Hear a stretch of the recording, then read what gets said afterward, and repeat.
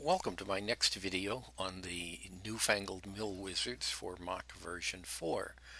Um, in the first video I gave you a general overview of how the product worked. In this video I'd like to go through a few of the specific configurations and talk a little bit more about the job file capability.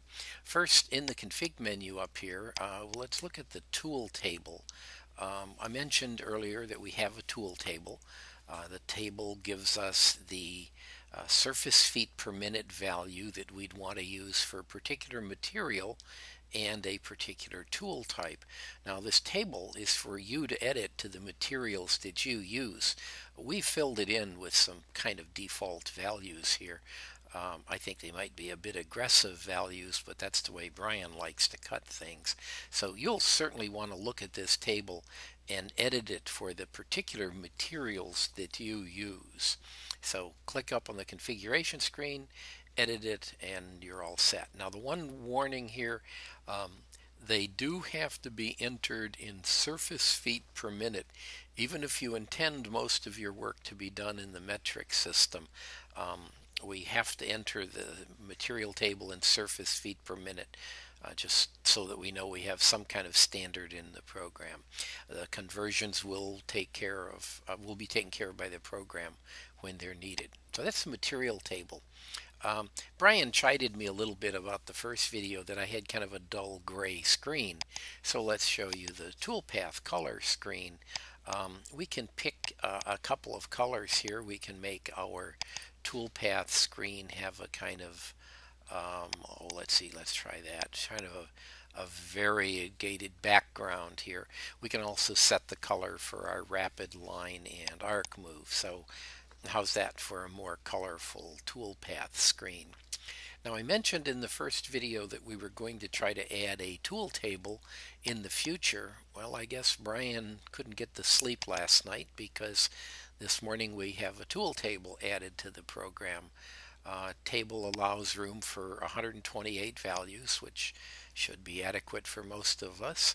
Um, tool diameter, number of flutes, the type of material, the ramp angle, and a comment that just appears as a descriptive comment in the uh, line and in the uh, G code. You're free to edit this, add all the tools you need, all the tools that you want to use. Um, it can be saved in a file. You can browse for a file, open and create a new file, or edit this one and save it. So you have pretty full flexibility to manipulate your tool table file.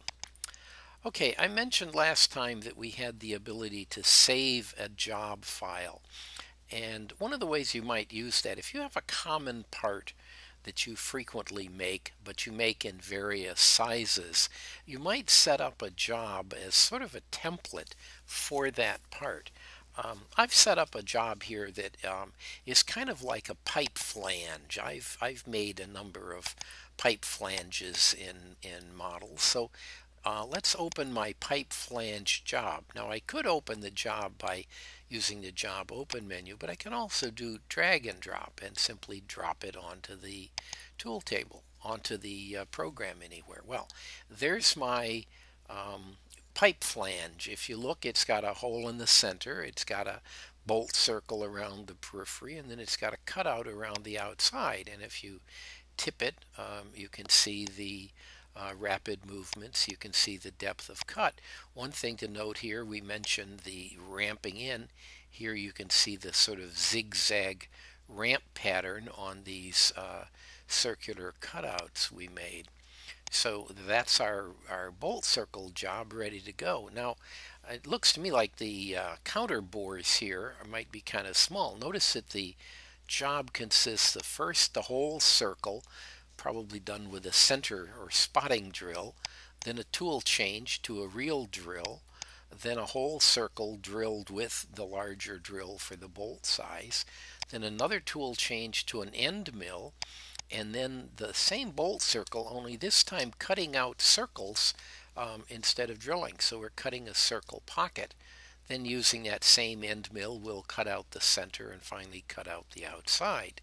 Um, if we want to edit this, I could go in and look, and there's all my settings that I don't need to change. But let's enlarge that counter bore uh, to three quarters of an inch.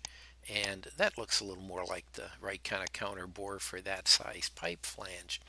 So you can see that we've opened a job file, made a change in the job file rather quickly, and uh, we're now ready to uh, either look at the G code, uh, and you'll notice all of the comments that I've mentioned in the G code, or we're ready to save the G code and run the product.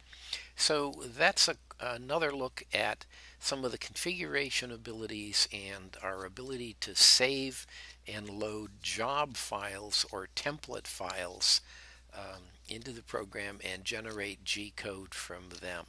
This is a, a, totally new capability and I think we're going to find it a very useful ability for the program. Well, thank you for watching this and we'll have a couple of future videos about some of the actual operations the program is capable of.